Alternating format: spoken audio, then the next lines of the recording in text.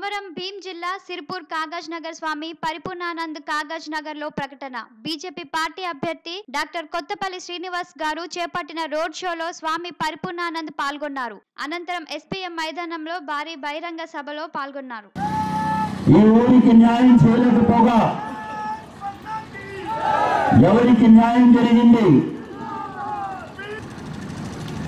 ఈ ఊర్లో ఈరోజు పెద్ద ధనవంతుడు ఎవరు అని అంటే మన తాజా మాజీ ఎమ్మెల్యే గారే.